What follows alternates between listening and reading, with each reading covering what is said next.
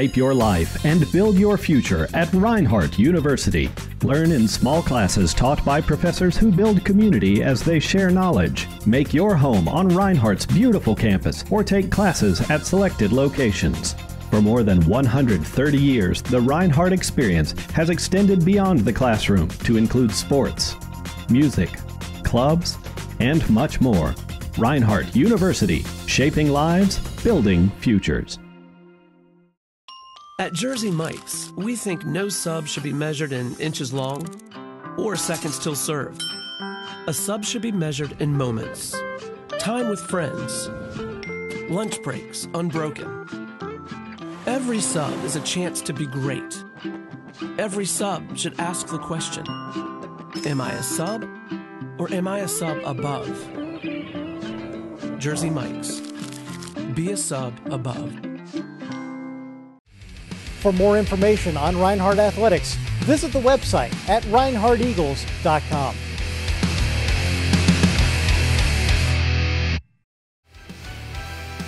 Chick fil A of Canton is a proud sponsor of Reinhardt University Athletics. Visit either of their two locations in Canton today. Hi there, everybody. Welcome to another exciting edition of the Reinhardt Coaches Show. I'm Jason Hanes. Glad you could join us for this special look at Reinhardt's basketball programs. A little bit later on, we'll be joined by the head women's basketball coach, Lindsey Huffman. But right now, we're going to spend our time with the men's basketball coach here, Reinhardt, Jason Gillespie. Coach, glad you could join me today. Thanks for having me, Jason. Your season so far, as we tape this, you're seven and six with one more game to go in the uh, 2015 portion of your schedule. How would you feel that your season has gone to this point? a little disappointed based on how we've done on the court. Um, we lost a couple games that we felt like we could have won there late, especially. Um, and you know that's kind of one of the things you're going to go through from time to time with teams where you play better in spurts and play you know up, not completely up to your potential and we've, we've kind of done that over the course of the past couple weeks so we're really trying to figure out who fits where and, and trying to improve it. You know, I, I heard a stat about the New York Giants that kind of compares to you guys in, a, in its own way if the New York Giants have played 58 minutes and 40 seconds of a football game so far this year, they'd be like a nine and three or something like that. You guys, I think if uh, you could lop off like the last 20 seconds of some games, you guys would probably only have one loss in conference. Unfortunately, uh, some breaks though at the end of games didn't quite go the way I know you would have liked, but your team's been competitive pretty much every time out. Right. We we had one game where we didn't play particularly well on the road at Middle Georgia, and then we competed in both the NCAA Division One exhibitions we have. So we have the potential and the talent. It's just a matter of getting getting it all fit in the right way. You know, uh, one of the things I know you're glad about for your team, and we'll step away from the court a little bit and focus on the student part of student athlete. Your team posted a really impressive GPA in the fall semester. Right. And, you know, this is my 13th year as a head coach at college level. I've never had a team post a GPA like they did uh, first semester. Three, th I'm close to a 3.3. Um, you know, the vast scheme of things, the bigger scheme of things, that's more important than what we're doing on the court. Now, we want to do both, obviously, but we're really proud of the fact that they got the job done in the classroom. You know, you only lost a couple of players off of last year's team uh, as far as seniors go. Uh, you've got a lot of players who've come back this year. One of those players, Corey Ricks, has uh, continued his scoring from last year and right. has been one of the uh, one of the key leaders on, on the team as far as the offense goes, especially. Sure. Corey is an outstanding wing for this league, and uh, you know he just he, he does things that, that make it difficult for him to be guarded. Uh, need him to improve on the defensive side, but he does a great job of scoring the ball and uh, just kind of makes our offense go a little bit when he's on. Somebody that I've been really impressed by as far as his development goes this year has been Daquan Langston. Uh, you had a game recently against Milligan. As a team, you only had three turnovers, which right. that that might be a Reinhardt record when it comes down to it. Uh, and, and, one of those big reasons is taking care of the ball, and Daquan has done a much better job this year, especially of taking right. care of the ball. Daquan and Justin Zachary have been splitting the time at the point, and they've had some outstanding assist to turnover numbers. I mean, as good as I've seen us as a team, we're doing a good job of taking care of the ball in most games. In games that we don't, we have problems winning those games. But that Milligan game was a great uh, example of what we're capable of when we do take care of the basketball. you know, this, your coaching philosophy, I guess is a good way to put it. You're going to put everybody basically that's on your bench in the game at some point. Everybody's got to be contributing. You've got your first, you got your first wave, and then you send a second wave. Sometimes there's a bit of a third wave, and you just rotate guys back and forth, back and forth until you find that uh, one good set of guys is really performing well. So it's not just maybe you look at your starting five, and a lot of teams it's just their starting five Right. really performs. Here at Reinhardt, you know, you're going 10 deep, 11 deep every night.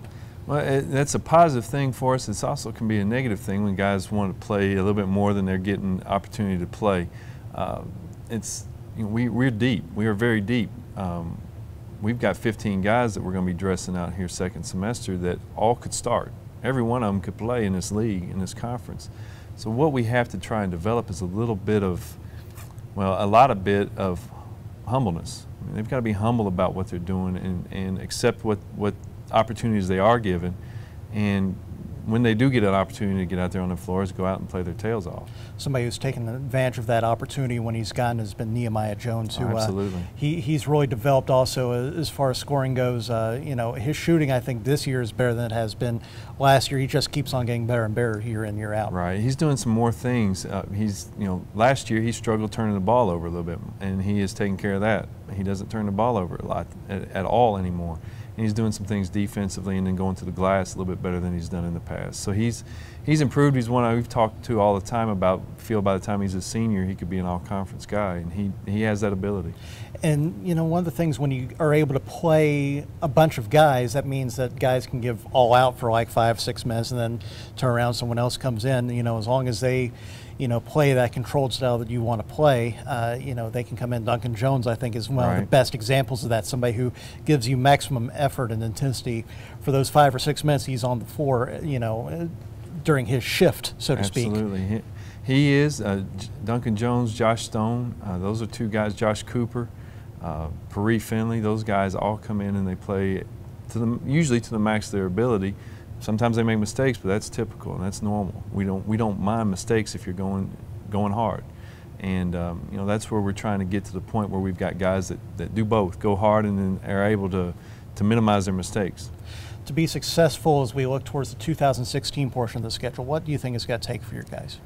Well, um, a little bit more of a coming together as a group. And We've got the funny thing is about this these, this group is probably maybe the most fun group I've been around is guys, and they, they really like each other off the floor.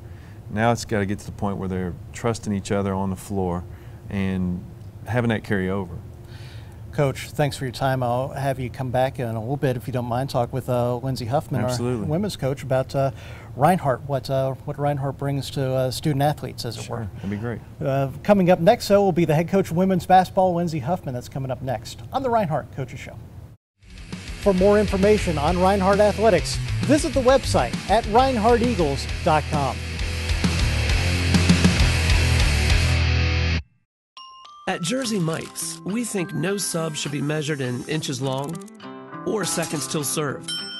A sub should be measured in moments, time with friends, lunch breaks unbroken. Every sub is a chance to be great. Every sub should ask the question Am I a sub or am I a sub above? Jersey Mike's. Be a sub above. Shape your life and build your future at Reinhardt University. Learn in small classes taught by professors who build community as they share knowledge. Make your home on Reinhardt's beautiful campus or take classes at selected locations. For more than 130 years, the Reinhardt experience has extended beyond the classroom to include sports, music, clubs, and much more. Reinhardt University, shaping lives, building futures. Chick fil A of Canton is a proud sponsor of Reinhardt University Athletics. Visit either of their two locations in Canton today. Welcome back to the Reinhardt Coaches Show. We're talking women's basketball now, and it's my pleasure to be joined by the a little bit under the weather, but uh, braving the uh, elements, so to speak, uh, to come and speak with us. Lindsey Huffman, the head coach of Reinhardt Women's Basketball Coach. Welcome. Thanks, Thanks. for coming out. Thanks for having me. Um, this season's been a little bit of a uh, testing season so far for you. The injury bug, to say it has bitten you guys, would uh, be a bit of an understatement, but uh, your team has really had to do a quick job. Some of your freshmen have had to grow up really quickly and uh, try to make this season a success in the early goings. Yeah, absolutely. I mean, we've been unfortunate where we've had some, some key injuries very early on. Um, kind of changes the dynamic of our team. But like you said, there's pros and cons, and can be a blessing and a curse, and gives some other people an opportunity to step up. And I think a lot of them have done that so far. So it's it's a good learning experience for us. One of your big contributors so far in this early season has been Jada Hubbard, a freshman out of Ringgold, Georgia, who's uh, had to step in and really taken one of the lead roles in scoring for your team. Yeah, Jada's done a great job. Um, as a true freshman, it's been um, kind of throw her into the fire, and she's responded very well. She's had the opportunity to to show off her scoring ability, and um, she just she makes things look easy. She's a very very smooth player, has the ability to get to the rim, and um, she just has done a great job with with being thrown into that position pretty early on. Pretty early on, she was a little unsure of herself, um, but playing 40 minutes a game, that'll get you unsure pretty quick. and that's been one of the things that uh, your team's had to do. Uh, there were a couple games where you were basically down to six players on your team, so uh, you basically have one sub available. Um, takes a little bit of the strategy out as far as your defense goes, as far as pressuring and running the risk of getting fouls, but it also uh, makes the team maybe a little bit more focused on defense and makes uh, everyone, especially in the early season, uh, get a lot of experience that maybe they wouldn't get otherwise. Right, and it does, it changes um, some strategy stuff for us um, with the low numbers. You know, fatigue sets in pretty pretty quickly, and so that that's a tough thing that we've had to overcome. But the girls have done a good job of responding to that, and um, you know, we could think of a million excuses of why we can't do this or that, but um, the girls have have started to to kind of take that on and and not use excuses as as part of our you know plan for this year. So, well, how would you describe your style of play that you try to coach? Our style of play would would be just tough, nitty gritty, make make the other team play ugly is kind of what we would like to do. Um, now we don't always succeed at doing that every night, but um, making you know I'm a very defensive minded coach, so defense is important to us, and we try and stress that. Um, is, is to help you know try and get the other team to take tough contested shots, and like you said, it's been tough this year. We haven't been as good defensively as we have in the past, and I think fatigue has has attributed to that. You know, people who may remember you who've been around Cherokee County for a long time remember you from your high school days where you were a prolific scorer. So where did the change start to come in your philosophy where instead of uh, focusing on scoring, you start focusing, especially from a coaching style, on defense? Well, as a player, I didn't play much defense at all. Um, I was not a defensive player.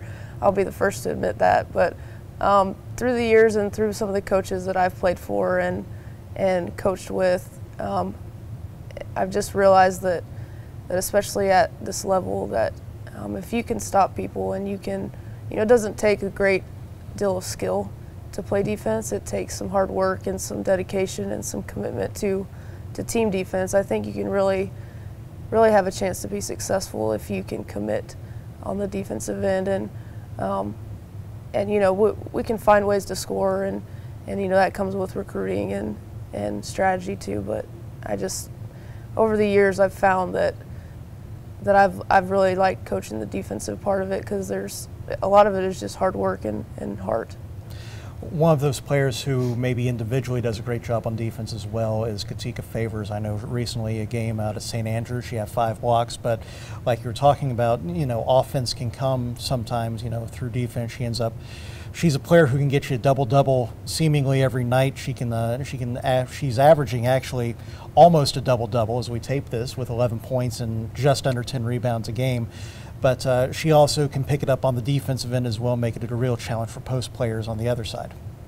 Yeah, Katika is she has stepped up. Um, tremendously this year, and she has she has so much athletic ability. It's just insane. But when she when she comes and, helps on our help side defense and and affect shots and block shots, um, we're tough defensively, and it, it really makes our our man-to-man defense a lot stronger um, when she goes and commits to help. And she has the great ability to to alter and affect shots, and that just that makes us a lot stronger.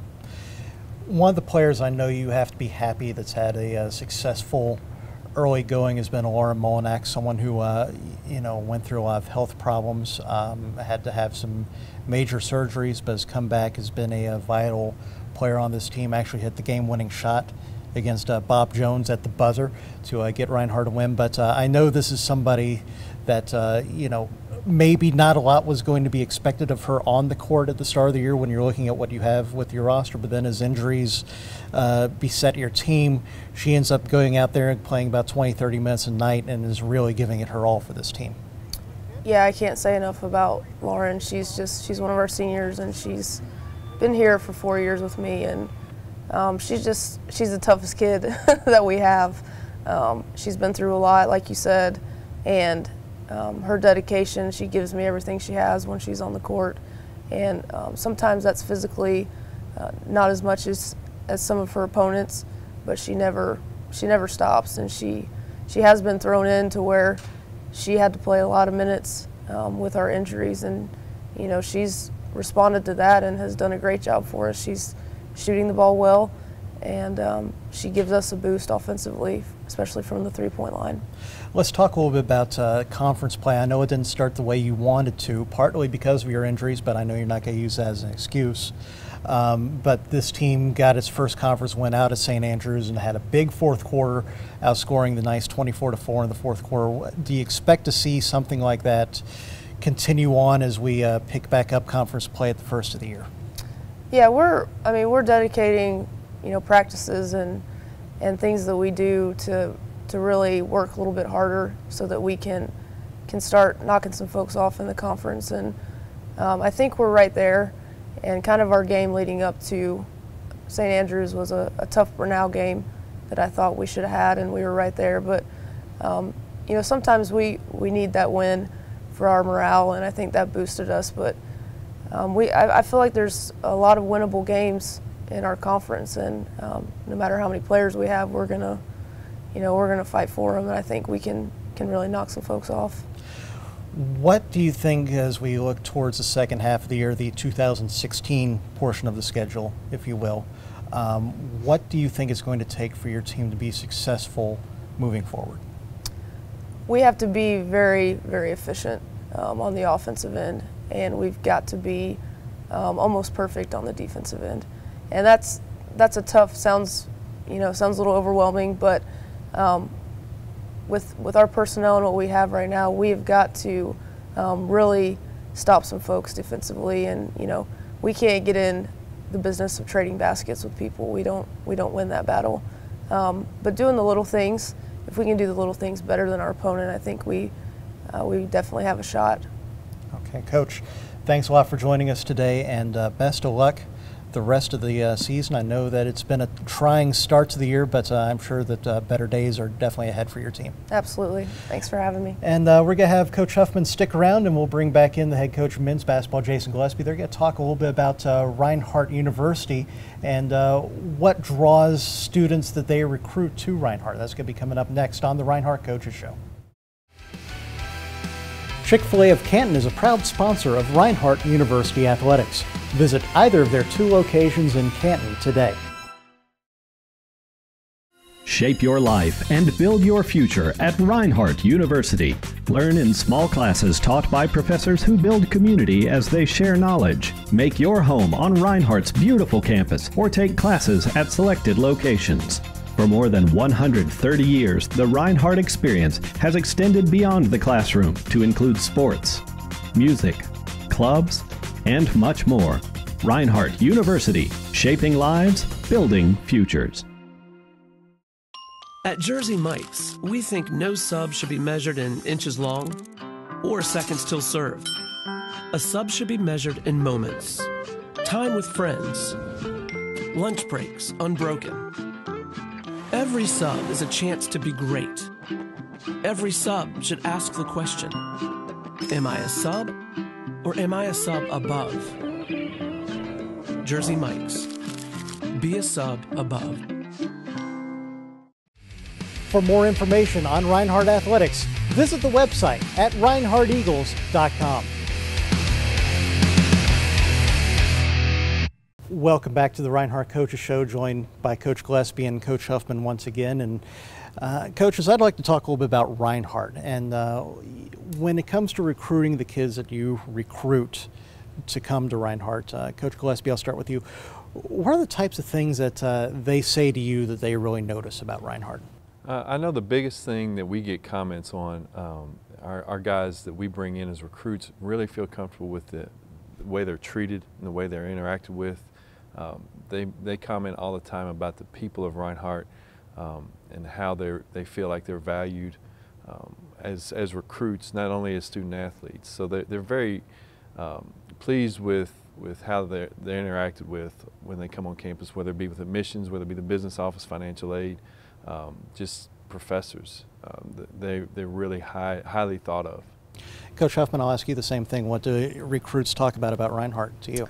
Yeah, I think kind of what Jason said is is the people here. And that's the first thing, and it's very very much a family environment. Um, you know, we're not a, not a huge school, but um, the people here just make it so so close knit. And, and, like Coach said, it's it's everywhere from admissions. It's the the different athletic teams here on campus that um, you know we really are, a family, and I think they get that sense when they come here and they meet meet the folks here you know, your two teams travel together to all the conference games, uh, especially. What, uh, what's that bonding experience like between the two teams? Do you, is it seen, does it bring the teams closer together when, uh, when you get back to campus? Uh, you know, what, what's that dynamic like between the two teams? Coach Gillespie, I'll start with you. I, th I, think it's really good. We root for each other. I know we as coaching staffs really get along well and we root for each other. Um, when they lose, we feel bad. When when they win, we're ecstatic for them. And uh, same, it seems to be the same case for our student athletes. They, they have to travel with, with each other and they get to know each other a little bit better than maybe some other teams on campus do. Uh, so it's kind of a unique situation where most other teams don't travel outside of maybe soccer, um, travel together. So uh, it's, it's been, it's a lot of fun because they've got a good group of girls and I, I think we have a good group of guys. Coach Huffman. You know, it's a good experience because both teams, um, get to spend a lot of time with each other and they support each other. They get to, you know, after our games are done, we get to sit and, and watch all the men. And uh, it's just, you know, it is a good experience to have that support um, that you know you're going to have that support on the road with some of your own people. So, if I were to ask each of you what type of student athlete you recruit, Coach Gillespie, let me start with you. What type? Oh, that's a good question because you never know what you're getting with an individual until you get them on campus and get to work with them. Ideally, we want guys that are going to work their tail off on the court and in the classroom, um, and then be good people off off the court. Um, we feel really good about the kind of guys that we have as far as that goes right now. So um, that's our ideal.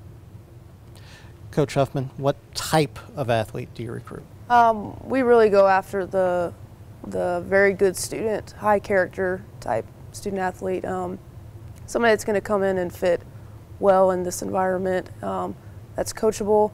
Again, you don't always, you can't always tell that right away, um, but we usually have a pretty good feel, you know, of their from their background and and um, you know the coaches that they've played for, etc. So. I know that every student athlete is different as far as what you recruit them based on talent wise. Uh, but when it comes to Reinhardt itself, what do you, Coach Huffman, I'm going to start with you on this one. What are you able to try to sell student athletes on most about Reinhardt? What do you say? Um, well, we sell them on facilities here because we have such such a great, great facilities. Um, we sell on location. You know, we you know just because we're tucked away in Waleska, we're very close to Atlanta and, and Canton and Metro Atlanta, and so um, I think our location is great. Um, and our size, our, our school size of you know, the the one-on-one attention that they can get in the classroom is is a huge plus for us. And a lot of a lot of the student athletes that we recruit um, don't have the opportunity to play at you know these huge Division One schools where they're kind of a you know just a number. So the opportunity for them to come in and make an impact and and have the opportunity to play, I think. Um, is something that's important to some of the student athletes that we recruit. That they have that opportunity to, to make a direct impact right away. Coach Gillespie, I'll ask you the same thing.